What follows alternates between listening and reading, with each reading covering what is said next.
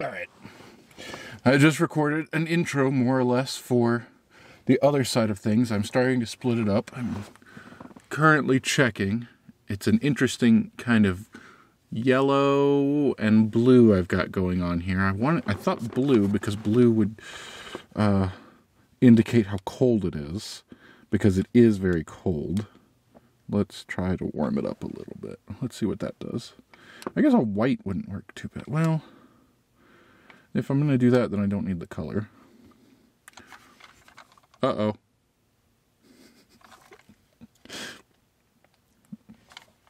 Let's see here. This is incredibly bright, though. Turn down the brightness. I got recognized at work for my hard work, which means that they give me a little gift card, um, which means that I bought another little light because I wanted one that could do color, and also I thought a third one would be useful. And now I'm using all three. I've got one mounted on top of the camera, so that one can stay there with all of the audio set up. I got one that I just set over here to provide some secondary light, and a third one there. This is not, as far as I know, a more traditional light standard as far as I remember. I gotta learn a little bit more about lighting techniques and things. Um, I do. I have read some, and what I what I remember reading and well watching a video and learning about in different ways was a three light setup where you've got what are the terms? You've got mm, there's a fill light, Key light, fill light, background light, or backlight. The principle behind that being that you get most of your, you put one more powerful, which I'm not doing right now, but you would put one more powerful light to one side on an angle um, to fill in the key, not fill, that's the wrong word to use. I also don't do a good job of instru- instructing, explaining when I don't really know what I'm talking about a full amount, but basically powerful light from one way less powerful light at the same angle there so you get soft shadows on one side of the face and then the backlight so you can get like the hair details and make it stand out a bit more. I'm not doing any of that. Um, i just have three lights pointed in different directions at varying power things so i'll learn from this but anyway the point of it was the sun is starting to come up so i gotta hurry along here uh, last week or last two weeks ago last week i edited it I did a video that was longer and just talking, just a lot of talking. And I even cut it down. It was probably well over an hour before I started cutting stuff where I was like, this isn't necessary. This is probably boring. This is not useful. And I feel have mixed emotions about that, obviously. Uh, I feel like it's important to talk and to be able to get it out. I don't want to restrict myself because then I'll start cutting out things that could be good before I even say them. So I think it's important for me to, uh, I think it's important for me to just be able to speak freely, more or less, and talk about whatever's on my mind without trying to worry about uh, what's going to translate well. And that way I can edit it however I need to. But also being able to not make incredibly long videos that will probably be boring. So I'm just going to split it up. That's what I decided. I've tried it once before and I don't remember why I dropped doing that. Um, I should continue doing that. It's useful. Making, here's the videos where I go out and I look at the wildlife and I show a whole lot and I do a whole lot. And then here are the videos where I'm talking and I just explain, and they don't have to be related to wildlife. This can be anything. I can tell you about how I'm uh, past the fourth gym in playing the fourth gen- generation of Pokemon, uh, where I what did I do? I cured some Psyducks of their chronic headache. Until it comes back, I guess. Anyway.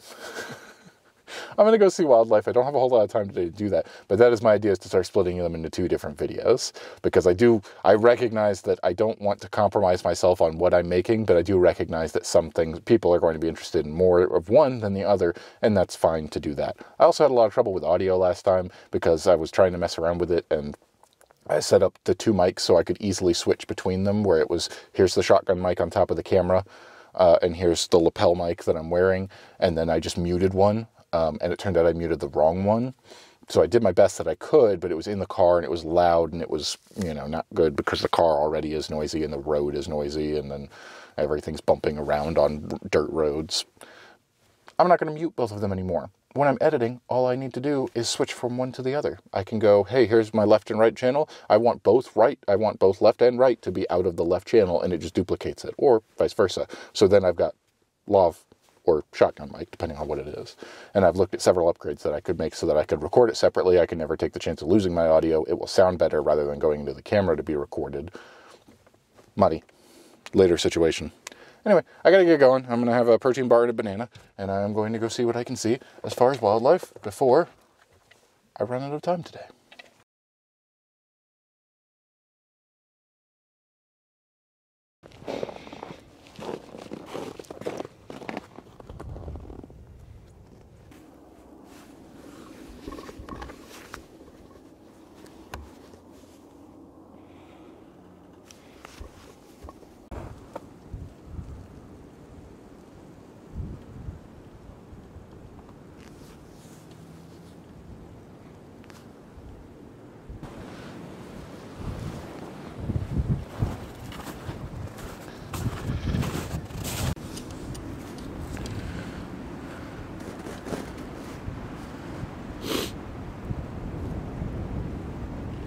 All right.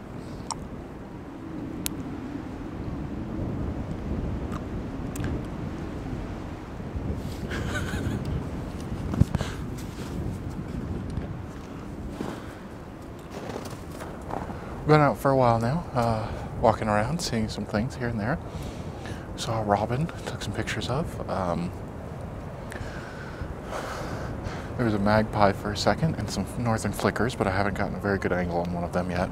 I've been walking around the frozen lake, but there is a section behind me over there where it is not frozen, and there is a huge group, flock of waterfowl, golden, common golden eyes, um, probably ducks and geese as well. But if they're so close to the edge of the water, I can't. I usually would walk over that way, but I can't get it. I'll just disturb all of them. They'll all fly away, so I'm not doing that. I'm gonna turn around and go back that way, see what else I can see.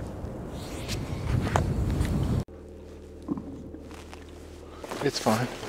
Uh, I, whew, cold as usual. Such is winter. Windy, cold, snow. Snowed a few days ago. Hasn't hasn't snowed that uh, much compared to last year, but probably not a good comparison last year because broke one of the records for most snowfall. So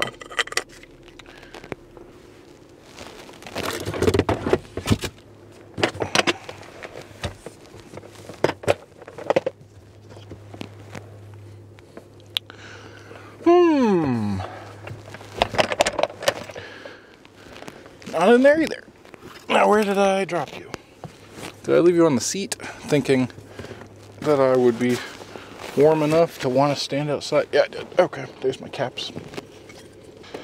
A fine day out. Uh, I don't know, looking back, if there were any just spot on spectacular moments that I managed to capture.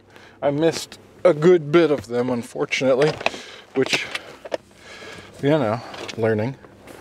The uh, idea I had for my tripod did not work out. And I will go into that more because I think it's interesting enough. And uh, I can do a far better job explaining when I actually have the material to demonstrate. I need to raise this camera up a little bit. You can't quite see my face. You see more of what I'm doing.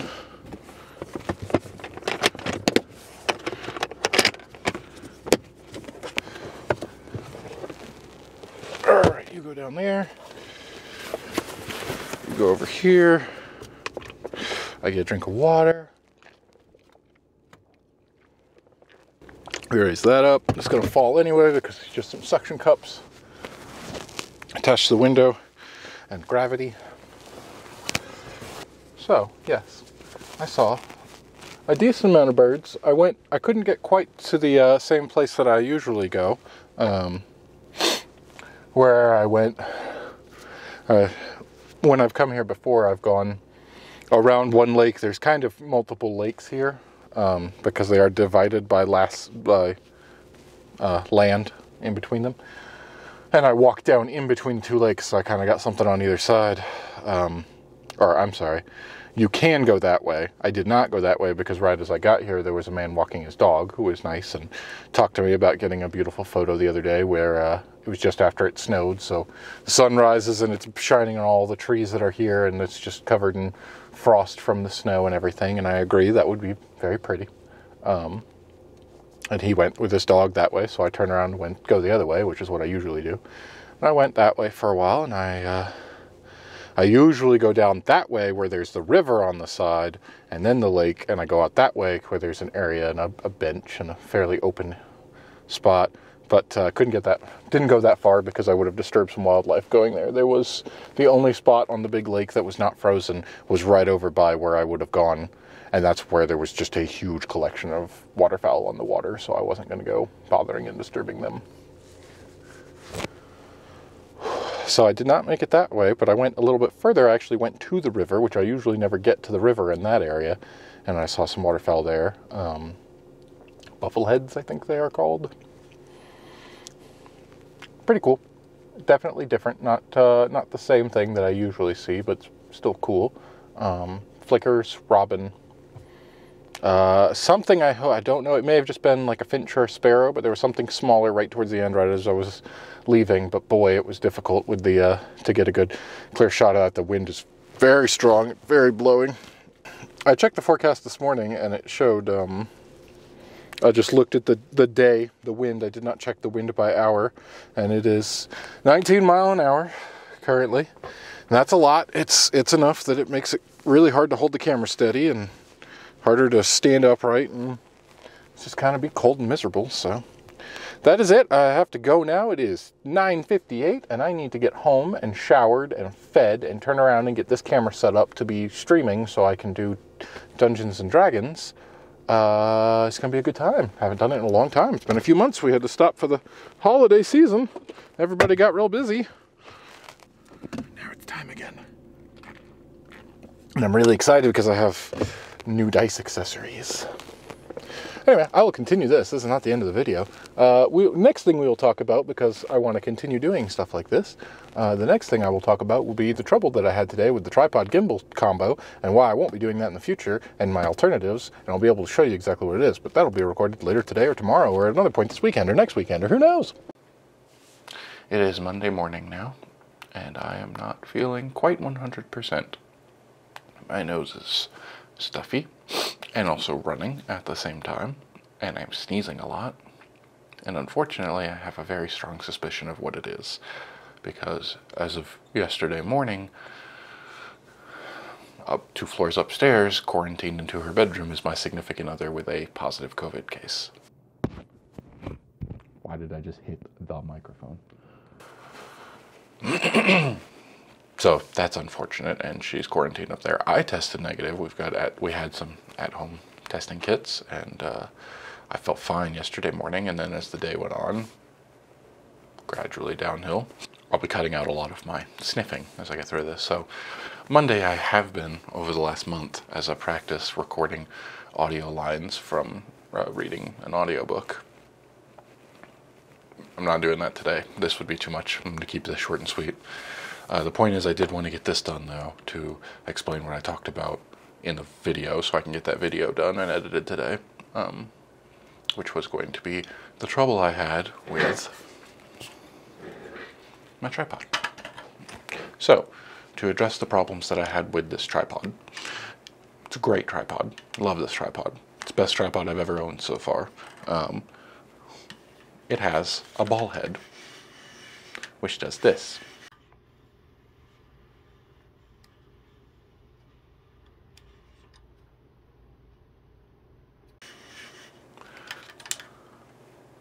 Typically, I would use this tripod and it would just have a camera directly on top of it. For example, this or even my phone because it has a really neat feature where inside this middle column here, it actually hides away a phone mount so that wherever you go, as long as it's in there, it's ready to go. And it's, you know, it's very useful. The reason I got this tripod was because my old one would not do what I wanted it to do, which is hold up all of the weight that I was putting onto it. For example, the big camera. it's a very big camera, the big lens, that's what I mean to say. Uh, it weighs a lot. And the other camera, when I would set it up and use it, it would just kind of sink down. It wouldn't hold all the weight. This one can hold all the weight, which is great. But here's the thing. It uses this plate system here on the top. So it uses this plate system here on the top, which means that I have to put a plate with a screw onto the bottom of a camera, or in my instance, I tried it on this gimbal here. And I tested it at home, and it worked. And it worked fine. And that's because put it on there, lock it down, unscrew here, and I did this. And I went, great, this functions, this works. So I can even, if I need to, raise it up. What I didn't test it with is all the weight on here. When I put weight on here, story changes a little bit.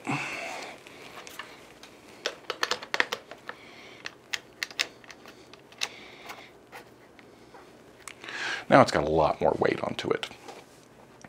And this doesn't quite hold up as well. You can see, even though this is locked down, with just a little bit of weight, like if I'm using it as a monopod and looking around and stuff, it's starting to move from the ball head. Not what I want, so I put it down here.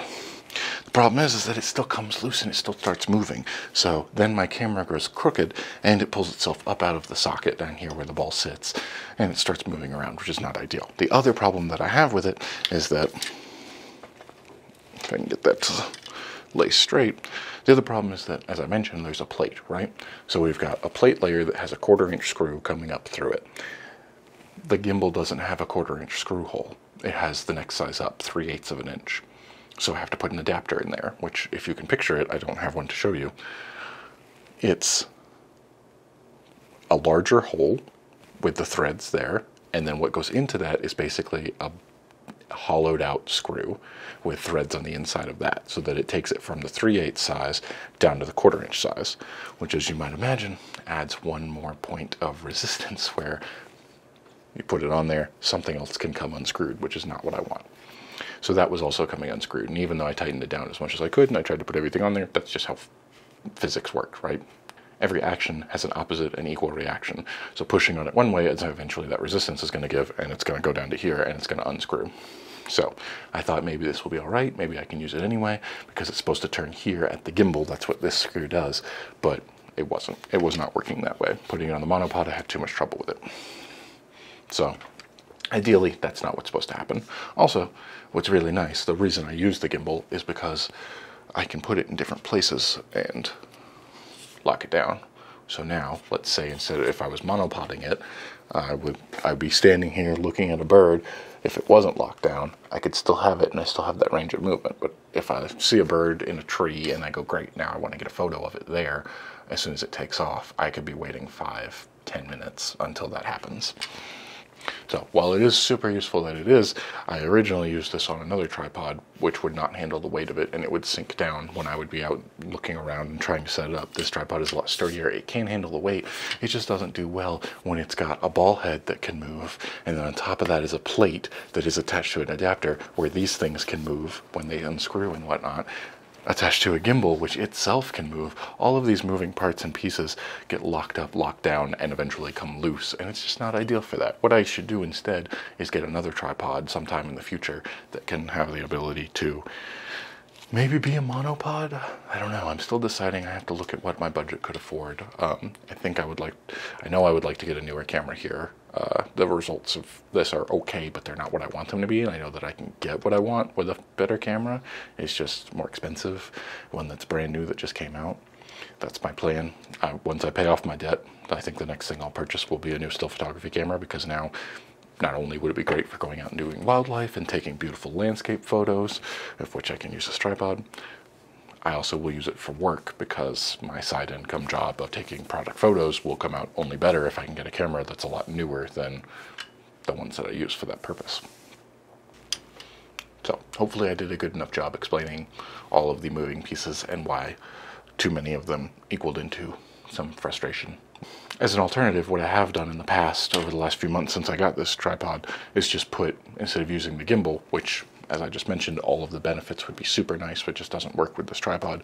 I just put the camera directly onto the ball mount here and use that. It's not unscrewing this while it's up in the air and try to do everything is not as ideal as having these here where I can lock it down and it's got the, the free forming and everything. It's way easier to use something like this. I would rather use something like this, but I'm gonna need a different tripod to use something like this. So for the meantime, here with everything that's there, it's good. I like it. I will continue to use this. Another problem with being sick is that I'm not as coherent, even less than normal, which I'm not as coherent normally. something I'm working on. So I've recorded this three times. It'll be a fourth time here when I redo it again to try to get everything short and sweet and all of my points across. I'm going to finish editing this and I'm going to go take a rest.